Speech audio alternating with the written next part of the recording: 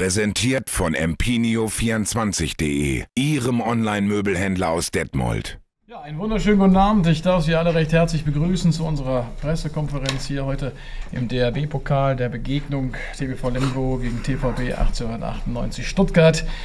Es sahen heute 2715 Zuschauer die Partie. Der Halbzeitstand lautete 11 zu 9 nach der regulären. Oh, danke, Markus. Nach der regulären Spielzeit stand es 23 zu 23 und am Ende hatten wir den Spielstand 27 zu 29. Ich begrüße Markus Bauer, der mich gerade ein bisschen unterstützt hat.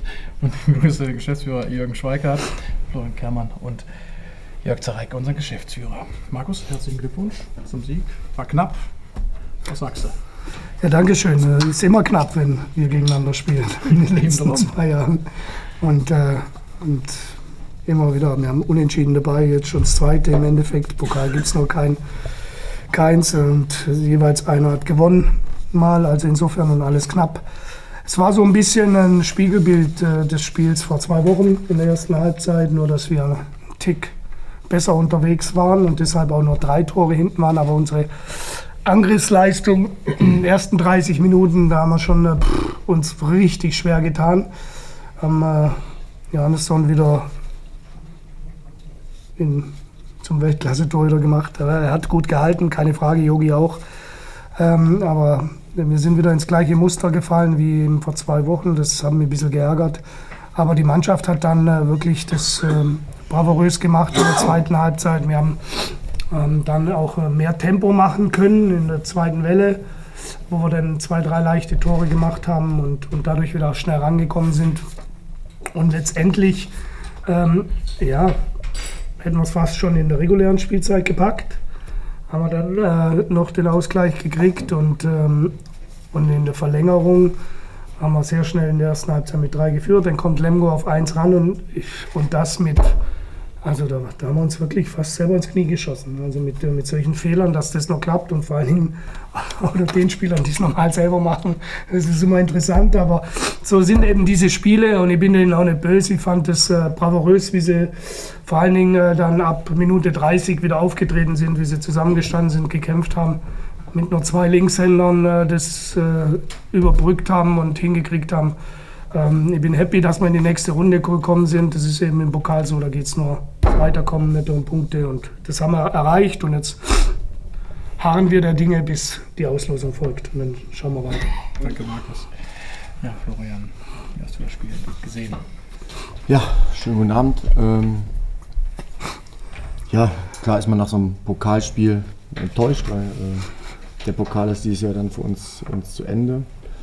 Ähm, ich muss Markus recht geben, es war, ich glaube, in der ersten Halbzeit wieder ähm, eine sehr gute Abwehrleistung von uns. Ähm, meiner Meinung nach sind wir gerade in, in, der ersten Halbzeit, auch in Teilen der zweiten Halbzeit, oft nicht belohnt worden für unsere gute Abwehrarbeit. Ähm, ich glaube, dass Stuttgart oft Bälle wiederbekommen hat, die an den Kreis gehen, die komischerweise immer noch mit einem Freiwurf geendet haben.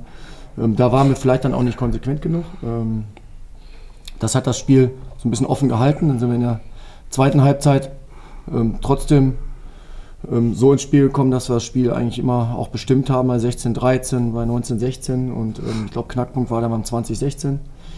Ähm, ja, wo wir das Spiel einfach gerade zu Hause versuchen müssen äh, zuzumachen. Da waren auch so ein paar Situationen, ähm, die mir nicht gefallen haben. Äh, dann verwerfen wir im ganzen Spiel leider Gottes zu viele freie, äh, freie Situationen. Wir haben, äh, ich glaube, vier oder fünf Gegenstöße äh, oder in der zweiten Phase, die wir nicht verwerten, wo wir gute Einschusschancen haben und die brechen uns äh, so ein bisschen das Genick. Ähm, trotzdem sind wir anderthalb Minuten vor Schluss mit zwei Toren hinten. Wir schaffen es dann über einen, über einen siebten Feldspieler noch ähm, in die Verlängerung zu kommen und dann ein, zwei unglückliche Entscheidungen ähm, auf, in, der, in, der, ersten Halbzeit der Verlängerung und hängen dann immer hinten dran und sind dann eigentlich nur darauf angewiesen, dass Stuttgart Fehler macht. Ähm, meiner Meinung hat Stuttgart dann am Ende mit ein bisschen mehr Glück äh, vielleicht auch verdient gewonnen. Die einzige Szene, die ich nicht verstehe, wenn äh, es kurz vor Schluss einen 7 Meter im Gegenstoß gibt äh, und einer auf den Arm schlägt, dass es dann nicht auch noch eine Zeitstrafe gibt. Und hätten wir vielleicht eine Chance bekommen. Wahrscheinlich war es heute auch nicht verdient, weil wir vorher zu viele Chancen weggeworfen haben. Ähm, wir werden jetzt uns regenerieren, weil wir haben am, am Sonntag eine ganz wichtige Aufgabe gegen, gegen Hüttenberg, eine sehr unangenehme Mannschaft, die sich jetzt anderthalb Wochen auf uns vorbereiten konnte. Und ähm, ich bin mir sehr sicher, dass wir sehr gestärkt auftreten und äh, ich freue mich, und das hat man heute auch wieder gesehen. Die Zuschauer, die da waren, ähm, die stehen voll hinter uns. Äh, die haben uns sogar äh, gefeiert, auch wenn wir jetzt im Pokal ausgeschieden sind. Äh, die honorieren die, den Einsatz der Jungs, die, die Bereitschaft und ähm, wir können nicht jedes Mal das, das glücklichere Ende auf unserer Seite haben. Wir werden weiter hart arbeiten und jetzt alles ins letzte Spiel packen und äh, da wollen wir zwei Punkte in Lemgo behalten. Danke. Danke, Florian. Jürgen Schweigert am Sonntag wieder in Ostwestfalen zu Gast. Nee, die kommt zu uns. Die kommt zu euch. Ich helfe dir. Wunderbar. Ich wollte auch gucken, ob du mir hilfst. Wie sind Sie mit dem Spiel zufrieden wahrscheinlich heute? Klar, klar sind wir hochzufrieden. Ähm, wir, wir wollten ja weiterkommen, ist klar, im Pokal, wir haben die erste Runde in Aue gespielt, heute wieder auswärts, ähm, damit es für uns noch ein, ein vernünftiger Pokal werden kann. Nicht nur sportlich, sondern auch finanziell ist wichtig, dass wir heute weitergekommen sind. Glückwunsch an Markus und die Mannschaft. Ich denke wirklich, dass wir das vor allen Dingen die letzten 20 Minuten richtig gut gemacht haben. Ich hatte auch das Gefühl, wenn wir es schaffen, mal wirklich ranzukommen, wir sind ja immer mal auf ein Tor dann rangekommen, glaube schon in der 40. Minute, dann aber gleich wieder auf vier weg. Ähm, wenn wir es wirklich mal schaffen, das Unentschieden zu machen oder sogar in Führung zu gehen, ähm, hatte ich ein sehr gutes Gefühl, wenn das eintritt, dass wir es dann auch schaffen. Dann war das so, dann waren wir zwei Minuten vor Schluss zweiter vorne, dann habe ich gedacht, okay, jetzt haben wir es und dann in der Verlängerung kann natürlich alles passieren. Da ist entscheidend, dass man gut reinkommt, das sind wir, ähm, wo wir gleich zwei Tore weggezogen sind. Ähm, und am Ende haben wir sicherlich mit ein bisschen, bisschen Glück gewonnen. Was mir auch aufgefallen ist, Flo, ich gebe dir recht, ähm, äh, diese Aktion habe ich genauso gesehen, dass wir da, wenn er auf den Arm steht, habe ich gesagt, ich war froh, dass wir keine zwei Minuten gekriegt haben, aber ansonsten fand ich die Schiedsrichter, und das ist mir tatsächlich das ganze Spiel aufgefallen, die können nicht alles richtig pfeifen, aber bei den beiden hat man einfach das Gefühl, da ist eine Linie dahinter, man kann sich auf das einstellen, was dort kommt. Und also man muss sie loben, auch wenn nicht diese eine Szene sicherlich glücklich für uns ausgegangen ist. Ähm, Finde ich, wenn wir immer so Schiedsrichterleistungen hätten, ich glaube, da würden sich beide Mannschaften nicht beschweren. Und jetzt hoffen wir tatsächlich, auf ein Heimspiel.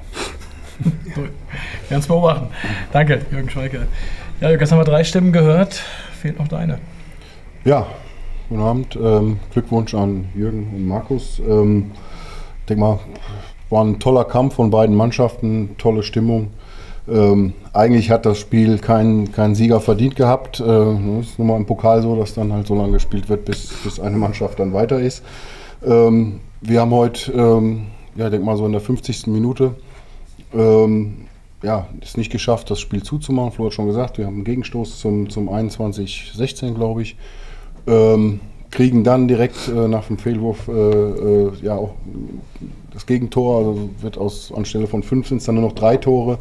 Da hat man eine Riesenchance, das Spiel zuzumachen. Das haben wir nicht geschafft und am Ende wird es dann knapp und ähm, ja, da entscheiden dann Kleinigkeiten und äh, da hat äh, Stuttgart heute das äh, Quäntchen Glück mehr gehabt oder ein Johannes Bitter im Tor, obwohl bei uns auch wieder heute ähm, Peter Johannesson, denke ich mal, jetzt schon wirklich seit Wochen überragende Leistungen zeigt und ähm, darauf können wir aufbauen. Und jetzt der Fokus ähm, ab morgen wieder gegen Hüttenberg, haben wir ein ganz wichtiges ähm, Bundesligaspiel und da geht es dann darum, dass wir uns wirklich ähm, auf dem einstelligen Tabellenplatz auch so ein bisschen ähm, mittel- und längerfristig äh, halten können. Und da werden wir alles in die Waagschale werfen und äh, hoffentlich auch wieder mit so einem tollen Publikum wie heute. Hat der Mannschaft wirklich geholfen. Leider hat es heute dann äh, nicht gelangt. Dankeschön. Danke, Dave. Okay, jetzt schaue ich mal, ob da Fragen sind. Das ist äh, nicht der Fall. Keine Zeit. Nein, keine Fragen, dann auch keine Antworten. Dann enden wir hier an dieser Stelle, wünschen unseren Gästen eine schöne Heimfahrt ja. und sehen uns hier am Sonntag wieder. Vielen Dank. Tschüss.